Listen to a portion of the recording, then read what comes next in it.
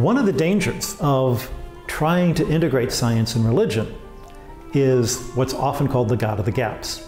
And this really came up in the time of Newton and the, in the Enlightenment. There are lots of things that Newton didn't quite get yet. And Newton said, ah, this is proof of God. I need God in order to explain these things. A hundred years later, Laplace comes along with better equations and said, guess what? I didn't need God for that. I guess I don't need God. Laplace was right. The God he didn't need is a God that doesn't exist.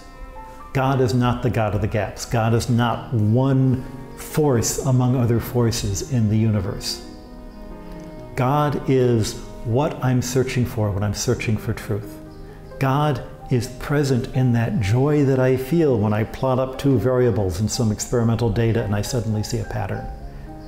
God isn't the force that made it happen. God is the creator that made it possible. And God is also the creator who invites me to participate in this creation. Because in this creation, he's expressing his love.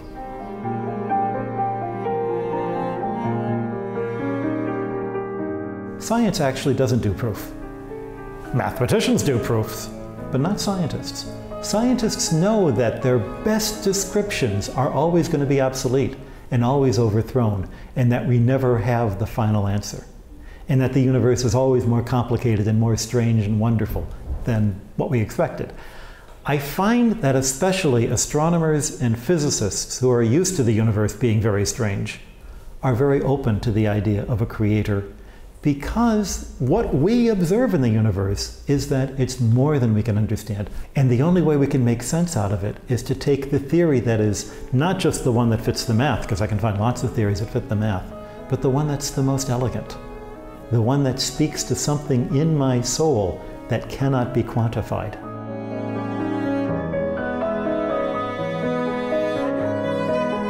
Even the most arch atheistic, mechanistic, the universe is nothing but a bunch of gears and levers kinds of scientist would be horrified at faking his data, at telling an untruth, at publishing things that they knew were not true on the theory that, well, nobody will ever catch me, because they worship at the altar of truth. And so, in a sense, they're worshiping the same God that I worship. We should be embracing them as brothers. We should not be condemning them, though we'll criticize their ideas, because that's what science does. We criticize each other's ideas we keep each other honest. Pope Benedict himself has pointed out the important role of agnostics in our culture to keep us honest.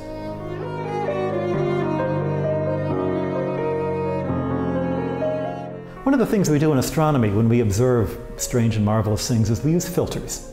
We look at, you know, look at a, a nebula in a red filter or an infrared filter or a green filter, and you get different information by sorting out everything else and just concentrating on one thing. Science is a filter. It's a really powerful filter because it allows us to see things we couldn't see without it. But the nature of a filter is to reject 99% of the stuff to concentrate on the 1%. You can't do that and forget the 99%. It's still there at the end of the day.